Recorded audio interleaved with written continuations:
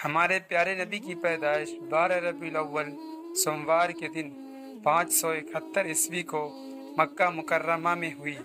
आपकी वालदा माजदा फरमाती है कि जब आपकी पैदाइश हुई तो मेरे जिस्म मुबारक से एक नूर निकला।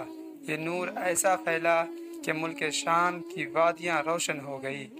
बच्चा जब पैदा होता है तो नौ महीने की रुकावट होती है। तो बहुत सारी गंदगियाँ माँ के पेट से निकलती है, जिसे हमल कहते हैं। लेकिन कुर्बान जाओ, हमारे प्यारे नबी की पाकिजगी पर। जब आप पैदा हुए तो एक कतरा माँ के पेट से गंदगी का नहीं निकला। और आप नहाए हुए पैदा हुए जैसे जैसे आप बाहर आ रहे थे, कमरे में नूर फैल रहा था। और जब आप पूरे बाहर आ गए तो पूरे कमरे में रोशनी और नूर ही नूर था। और आपकी नाफ मुबारक कटी हुई थी और खतना भी माँ के पेट में किया हुआ था। और जब दाइया ने आपको माँ के गोद में दिया तो आप अपनी पूरी ताकत से पलटा और सजदे में गिर पड़े। मेरे नबी ने बचपन में अपने उम्मत को ये पैगाम दिया कि मैं नमाज़ लेकर आया।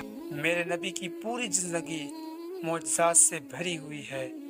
और जब आपकी उम्र नौ साल हुई, मक्का के अंदर साली थी, बारिश नहीं हो रही थी मक्के के बड़े बड़े सरदारों ने यह तय किया कि काबा को पकड़कर जब तक बारिश न हो जाए, हम काबा को पकड़े रहेंगे। चाहे हमारी जान ही क्यों न चली जाए। और रात को सारे मक्का के सरदार काबा को पकड़कर कहने लगे एक काबा को बनाने वाले, बारिश को बरसा दे। हमारी जाने जा रही है, हमारे जानवरे मर रहे हैं, बारिश को बरसा दे। सुबह हो गई सूरज निकल गया, लेकिन बारिश नहीं हुई। मोहम्मद सल्लल्लाहु अलैहि वसल्लम ने कहा, आप लोग पीछे आ जाओ।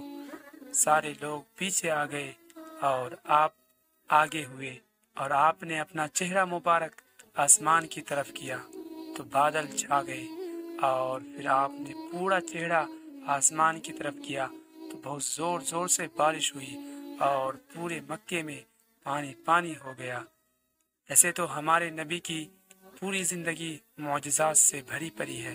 उम्मीद करते हैं ये वीडियो आपको पसंद आई होगी। अगर आप एक सच्चे आशिक रसूल हैं तो वीडियो को लाइक करके चैनल को सब्सक्राइब ज़रूर से कर दें।